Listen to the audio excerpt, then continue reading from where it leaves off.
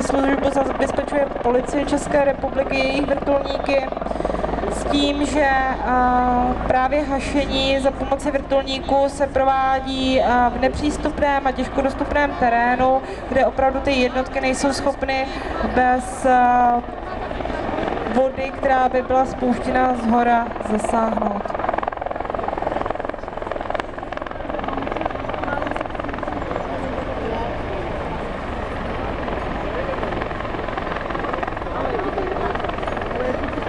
pokud dobře vidíte, tak můžete sledovat, jak se takový bambivak plní.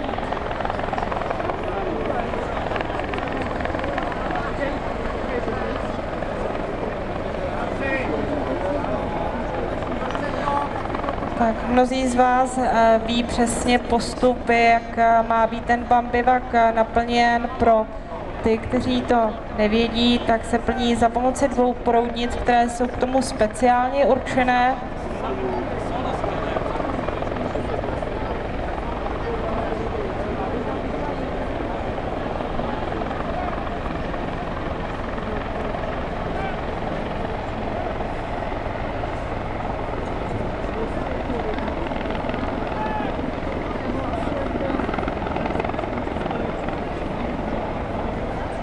To je pustil čůro, to zkouší?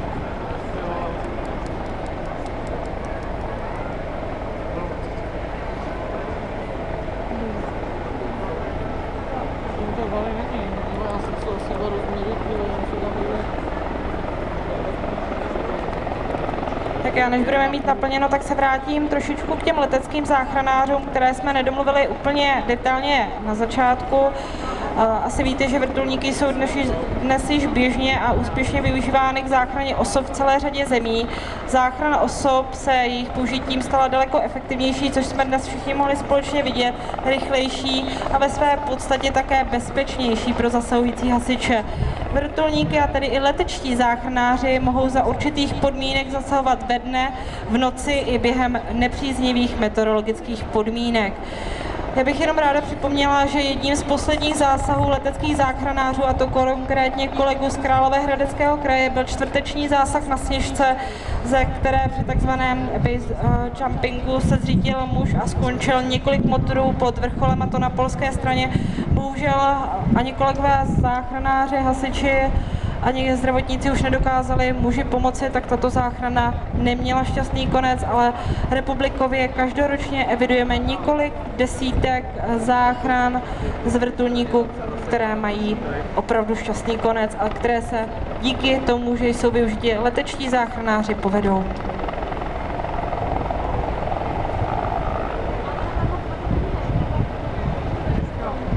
Tak, bambivak už máme naplněný a uvidíme první ze dvou schozů, který bude proveden. Samozřejmě je důležité přesně zacílit na ten objekt nebo do těch míst, kde k požáru došlo. Já zopakuji jenom to, že tento způsob hašení se využívá při hašení rozsáhlých lesních požárů, požárů trávy a travních porostů, a to v nepřístupném terénu.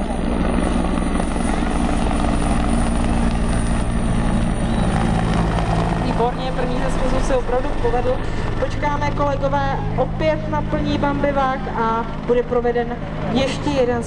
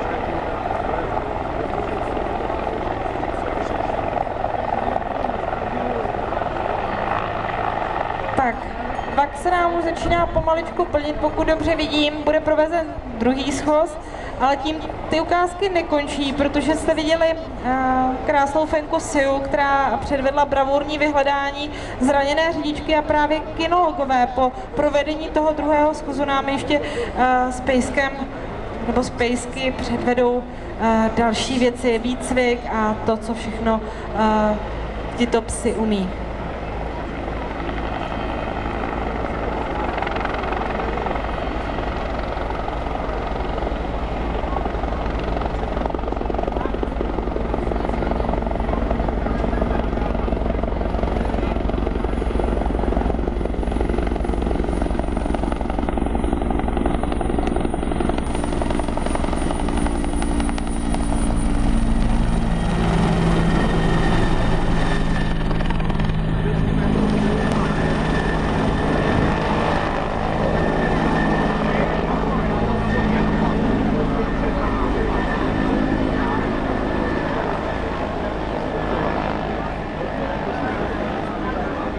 Tím závěrečným schozem byla ukázka eh, u dopravní nehody ukončené. Já předám eh, slovo